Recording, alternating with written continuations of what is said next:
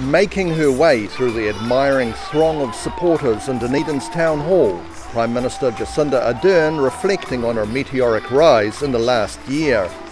When I took over the leadership from Andrew at the beginning of August last year, the election was seven weeks away.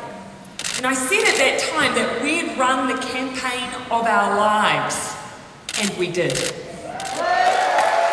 She announced a $217 million increase in funding for special needs education.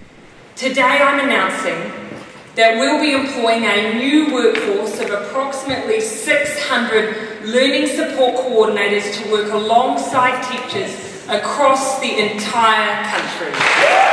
The money is set to be spent over four years on employing 600 learning support coordinators, taking the pressure off teachers. This will be a game changer for those children. It will be a game changer for teachers who've been crying out for these roles so they're freed up to do what they do best teach.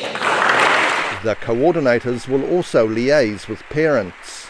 These new roles will give parents a single point of contact with someone who understands the needs of their child and will advocate for them as they move through their entire time in school.